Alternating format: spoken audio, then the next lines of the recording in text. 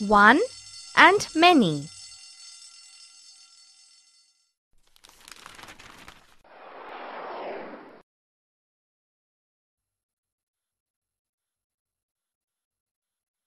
Oh, Starry, my bottle has just one toffee.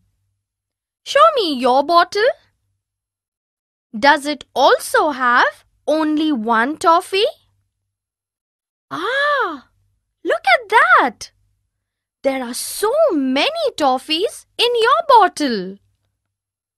See, Starry, I have one toffee. You have many toffees. The words one and many tell us the number.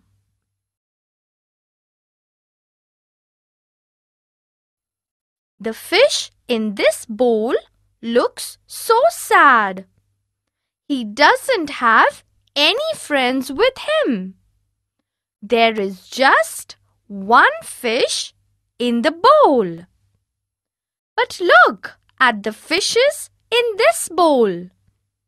They are happy because they have so many friends. Let us have some fun. Look at these pictures. Here is a branch with one bird. Here is a branch with many birds. Which branch has only one bird? This branch has just one bird. Here are two dishes. One has many apples and the other has one apple. Which dish has just one apple? This dish has just one apple. Here are two classes. One class has many children and the other class has one child.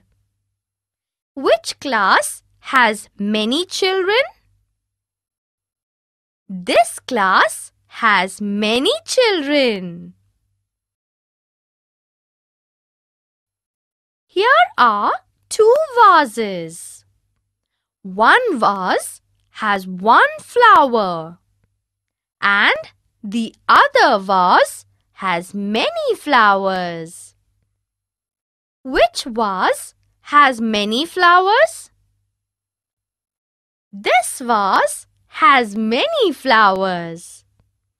That was superb! See you soon, Starry!